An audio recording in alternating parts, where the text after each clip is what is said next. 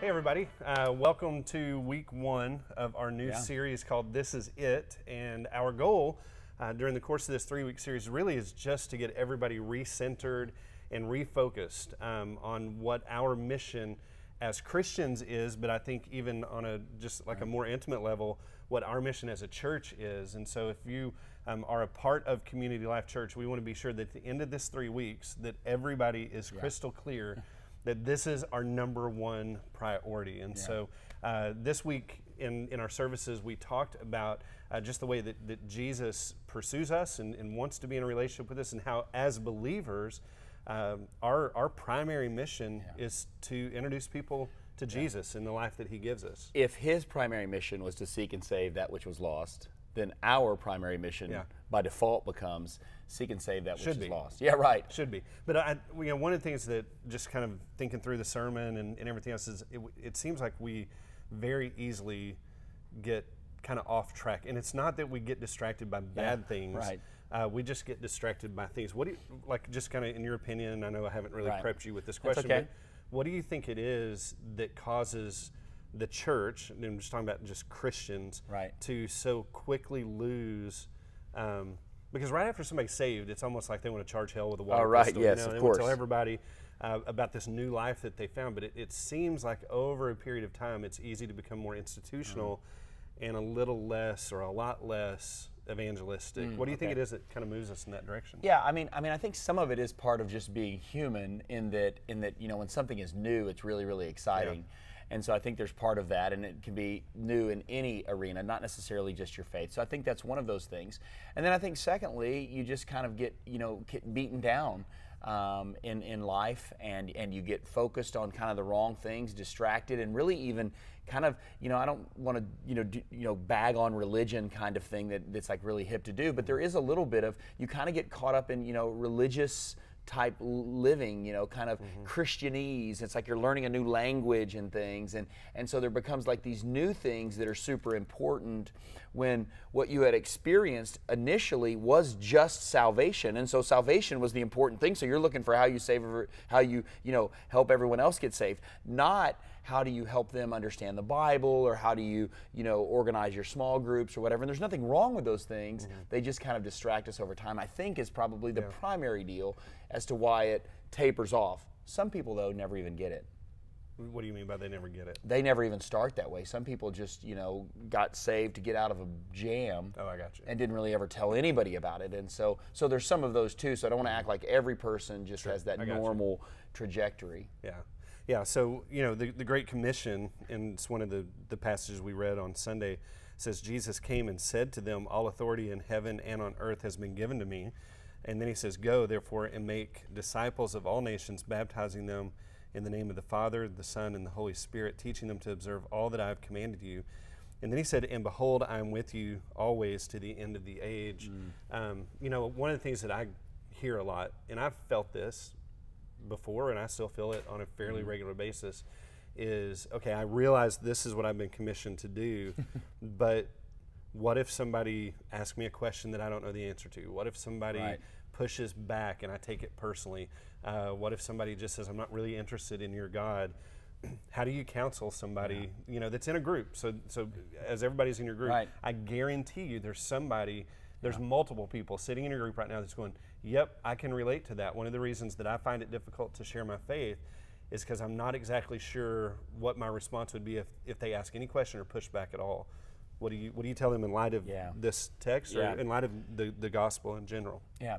Well, well, first of all, this idea in our culture that you don't impose really anything upon anyone, and really that's kind of like the big giant no-no in every area. And so, so I get and I understand. So I guess what, what I'm mm-hmm. saying is I understand why we're a little bit, you know, reluctant. But I would also say that you know that may be the depth of your persecution, which is really kind of funny when you're thinking talking about you know being eaten by lions or having your child killed or whatever. It's like it's like they said some mean things about me in the break room, but sometimes that happens, and, and and you have to kind of you know walk forward and move forward in spite of that. Mm-hmm.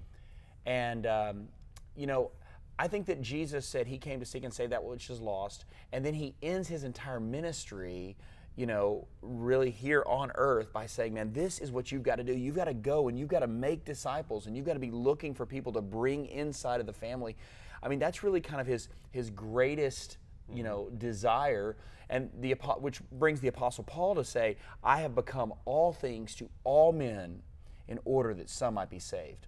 Yeah, which I'm glad you brought that up because I was trying to figure out a way to kind of transition to my next, next thought.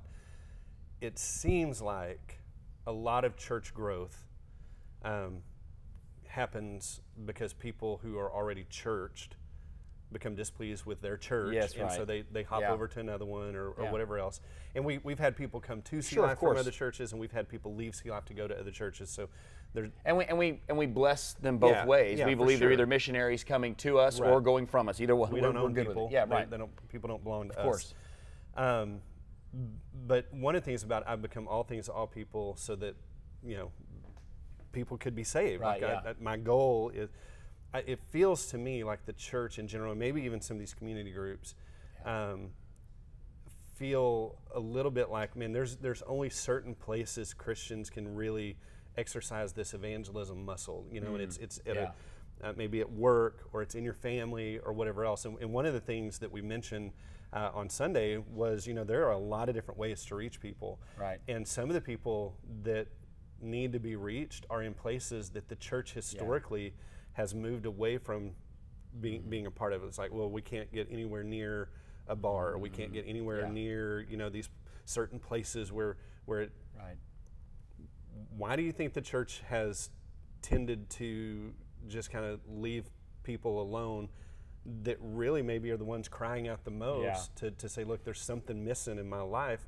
And we've got the answer, but we're scared to go to those places. We're scared to interact with those people. And I, I you know, I think maybe Sunday we said something like go to a strip club ministry or whatever, you know. And I, I kind of laugh about that, but at the Yeah. same time, Who is going? who who is who is Yeah. trying to to give those women or these men or whatever a, a glimpse of their value in Christ's eyes. Yeah. Um, because I don't know. What, Yeah. what do you think the challenge Well, is? I mean, I, th- I think the, the first thing is you you have to be intentional. I mean, that, that that's really the thing. And I don't even necessarily you you do have to be intentional about where you go, but you also have to be intentional about what you do when you end up wherever it is that you end up. And I think both of those things are incredibly incredibly important. It can be easy for churches to kind of turn inward, even for groups to turn inward, and to really just c- trying to think about how you know they can benefit themselves and really just kind of focus on on getting those people that are already the most like them, the people that already speak that Christianese that I spoke of just a moment ago. When in reality, maybe the best thing is is to step outside and to recognize that Jesus said, "I, I didn't come to the to the well; I, I came to the sick." And and so we have to be intentional about looking for those people that are that are really hurting. Yeah, I, I just wonder. I, I think it'd be really cool to get feedback from groups. Uh, that if you in your group spent some time just saying, "Hey, over these next three weeks," or not trying to put God in a box, but over the next three weeks, we are going to pray for vision. We're going to pray for ideas, and we're going to pray that God Yeah, would put us on mission. And and just throw out every idea, like regardless of how crazy the Yeah, idea right. seems, at least at least verbalize it and, and get it out there that here here are places, here are ways, here here are means and methods or whatever else that we've never as a church or as a community group we've never leveraged Yeah. those things and and then you know maybe at the end of this three weeks that, that we're able to say you know what our our core mission is to connect people to god Yeah. and to one another. And and you know i don't know which comes first in those. I think sometimes you connect to people then then you realize oh man these people are you know they love god and that god loves me. Sometimes people fall in love with god and then realize the people of god are good too. So um, but maybe that's a challenge for your group that you could you could spend some time thinking praying about vision and mission uh, and then let us know what you come up with and, and just realize that as a church we s we want to be able to celebrate the vision god gives you and the passion that you um, develop in that and the mission that you find yourself on and more importantly it seems that god celebrates Yeah. that Well, and you know, you've really got to believe it. I mean, Yeah. that's part of the that's part of the issue too. I mean, you're not just a, a salesman selling a product that you haven't necessarily bought into, and so it's important to recognize that that um, that heaven is going to be a wonderful reward, but hell is going to be a really tough place of separation from God for all of eternity. And, uh, and, and maybe that's another discussion point that you could ask why is it that we struggle to not only share it, but why is it that we struggle sometimes to believe it? And maybe it's because America is so uh, blessed and we live in such you know bounty. We joke about you know the banqueting feast mm-hmm. uh, when we go to Africa. We always yeah. b- joke about the fact that they're like, oh, this is a banqueting feast uh, like heaven. You know, this is like heaven. Well, I mean that doesn't mean anything to us because we could right. just head on down to you know Cici's or Ryan's and get all that we want to eat. And so, okay, we might could come up with better Texas de, Fogo. There Texas you go, de Brazil. There you go. Yeah. yeah, something like that. Big bucks. Uh, but uh, yeah, yeah. take your take your pocketbook. But either way, but because we have stuff like that, we don't we don't understand the beauty of heaven, nor do we really even preach a whole lot about the agony of hell. Yeah. And so maybe you could discuss those things and those theologies and why they make us uncomfortable and why we talk about them or don't talk about them. And yeah. I think that's important as yeah. well.